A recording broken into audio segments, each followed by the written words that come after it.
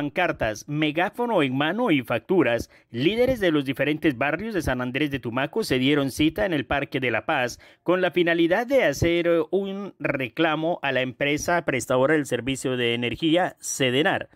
En las pancartas estaban las consignas como exigimos que nivelen o disminuyan los precios de la energía.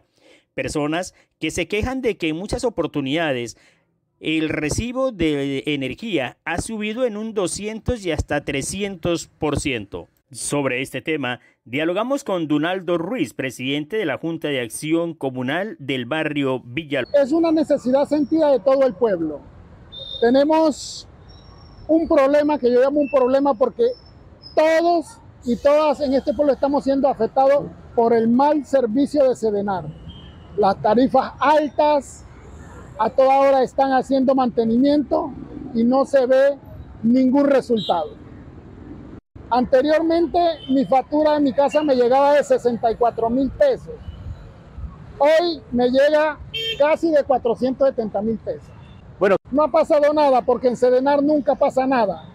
Siempre que uno va a reclamar, lo que hacen es mandarle unos personajes, un personaje que vaya a decirle a uno que viene a, a revisarle la casa, cuántos electrodomésticos, y así tengas uno, el recibo no te va a bajar. El recibo siempre va a ser lo mismo. La inconformidad es sentida de todo, todo el distrito de Tumaco. Nosotros venimos con una insuficiencia de este servicio. Resulta que aquí, por lo menos, Sedenar, los recibos salen muy caros, llegan muy caros. Personas que que tienen una neverita en su casa, cuatro bombillitos, recibo le lleva que por 70, 80 mil pesos.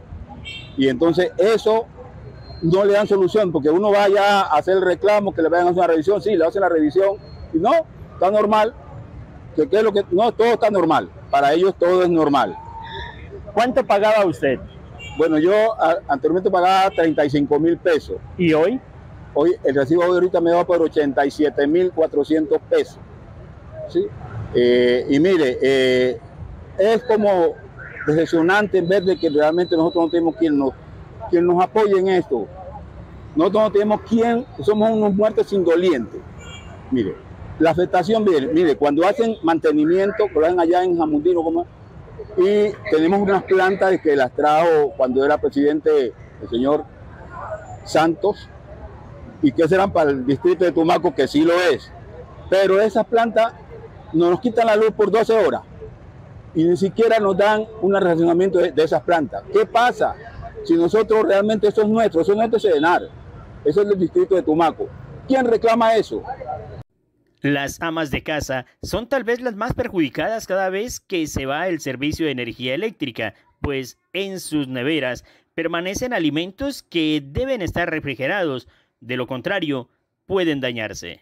Horrible, horrible. La verdad es que nos da miedo ya cuando llegue el recibo, porque en mi caso y en el caso de todos mis, moradores de la Libertad Etapa 1, llegan y me dicen, por ejemplo, a mí me llegó en 80, ¿cierto? Fui y pagué, no tenía problemas, pagué. Luego llegó en 150, pagué. Y el siguiente mes me vino por 400. Entonces, ¿cómo voy a pagar? Yo fui y les dije al Sedenar, es que yo no puedo dejar de comer por traerles la plata a ustedes. ¿Sí? No puedo poner a aguantar hambre a mis hijos. Y es más, es una grosería que ellos hacen con nosotros. Vaya, pague. No es así. Tienen que aprender a respetar, ¿cierto?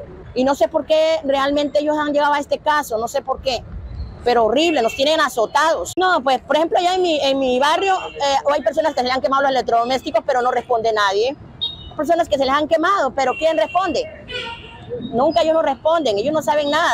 Algunos usuarios del servicio de CENAR, cansados de lo que ellos consideran la mala prestación, han optado por solicitar que no les den más el servicio, a fin de no seguir mirando cómo va creciendo la deuda. CENAR últimamente se ha desordenado en los coros de energía.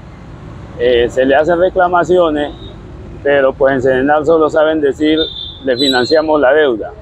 En el caso mío, yo venía pagando 6 mil pesos mensuales. Empezó a llegarme recibos de 20, 25.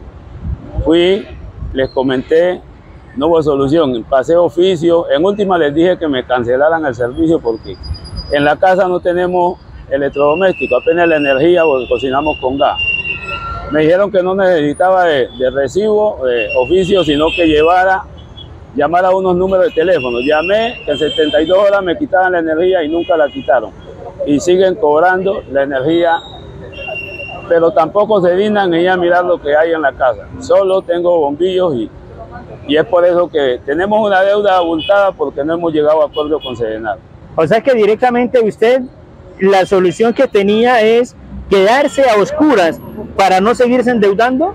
Afirmativo. Esa era la solución que había eh, mirado porque se vuelve impagable esa deuda con Sedenar cuando eh, el caso de ellos solo dicen es le financiamos, pero no hay solución a, a mirar por qué están llegando esos recibos altos.